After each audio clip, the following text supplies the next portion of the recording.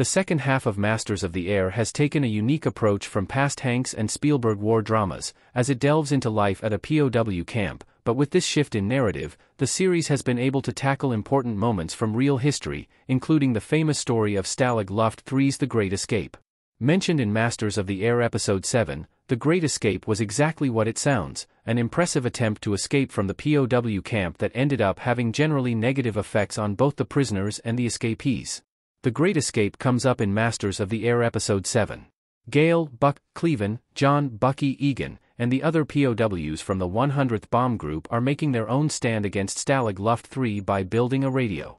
After secretly collecting a number of materials, Buck is able to rig up a radio from which they can get updates about the war. However, this becomes problematic when they learn that POWs from the British side of the camp escaped via tunnels. Now, the German officers are going to be on even higher alert, putting everyone else at risk. How the prisoners escaped from Stalag Luft 3 explained. The Great Escape was a year-long project that was completed mostly by British soldiers being held at Stalag Luft 3. The plan was conceived by Royal Air Force Squadron leader Roger Bushell.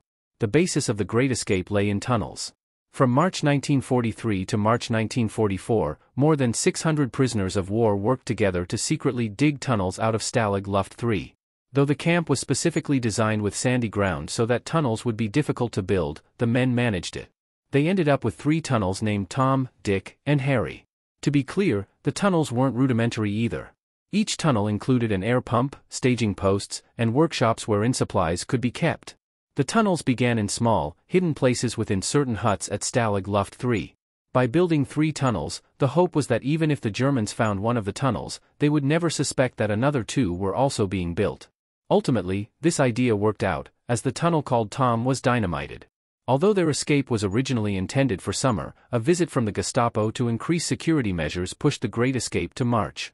On the day of the Great Escape, March 24, 1944, a number of Stalag Luft III's prisoners of war snuck through the tunnel called Harry. Because its entrance was frozen, their escape was delayed. Also, it turned out the tunnel's exit did not quite make it past the tree line, making it vulnerable to the nearby guard tower. Regardless, the men traveled through the tunnel and escaped in the early hours of the morning. Their operation was eventually shut down when an escapee was spotted via the guard tower and was forced to surrender. How many prisoners escaped from Stalag Luft 3?